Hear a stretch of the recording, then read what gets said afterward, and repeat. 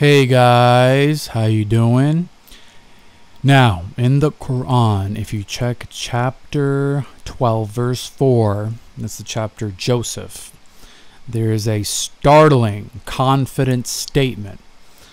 When Joseph said unto his father, O my father, lo, I saw in a dream eleven planets, and the sun and the moon. I saw them prostrating themselves unto me.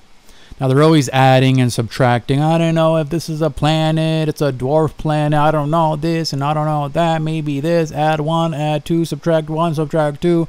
Oh, that could be an asteroid. Confidently says 11 planets 1400 years ago. Watch this. 11 planets, a new view of our solar system. Amazing by David A. Aguilar. National Geographic.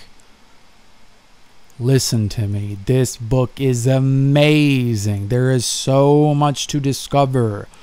Where are the scientists? Where are the mathematicians? Who will discover these things? When Joseph said unto his father, O my father, I saw in a dream eleven planets.